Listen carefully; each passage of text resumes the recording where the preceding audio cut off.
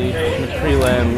At what point, when you got into a good position, were you trying to like conserve energy at all for the final? Yeah, definitely. Um, I felt like Leah and um, Stephanie were kind of back and forth for that front spot. They both like wanted to leave for some reason. And I was just like, I think I'm just gonna run behind you and chill out on the rail for a while. Like everyone's, you know, top three, everyone gets to go. So yeah, I felt like I got to conserve a lot of energy and just run the inside and um, practice just running behind someone. Was that the plan from the Don't start? get to do that in practice. Yeah, that, that's the plan. Jerry's big thing is run on the rail. Don't run extra four steps every lap. It's just a waste of energy. So that's what I tried to do. All right, great. I know you've been kind of banged up this year. How are you feeling?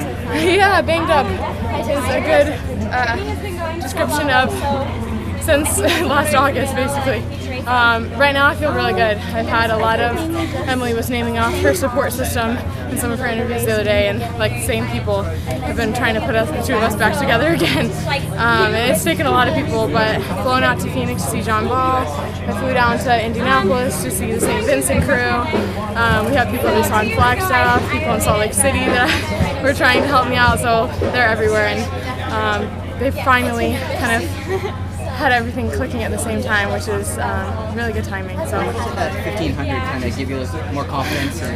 um, like yes and no. I mean, the time wasn't anything crazy. The weather was just horrible. You know, it was like Portland, just rain fest. So, me, just being able to go out and compete and um, remember what that feels like, and you know, stay in a race when, when it wasn't feeling good at all, and I thought I was way out of shape, and just sticking with it and sticking with it was really good practice um, for this because it's exactly what's going to be here too. How much time did you miss? Um, I haven't even counted. Don't really want to think about it, but months. Yeah. When, when did you get back to running up barriers?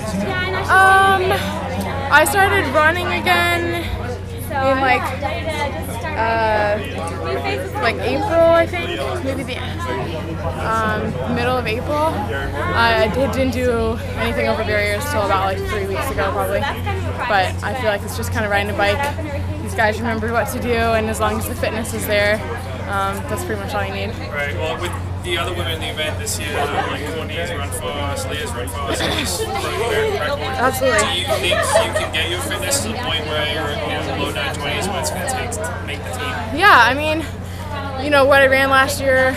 I ran 929 NCAA's, 924 at um, Is like another 929 at the end of the season. So I remember what that feels like. Um, and even though we haven't been doing a lot of stuff over barriers, just getting Jerry really focused on getting um, just straight fitness um, to put together first, and the barriers are kind of like bonus. Um, but it's hard to tell because I've also been at altitude for so long that it's so hard to do everything there.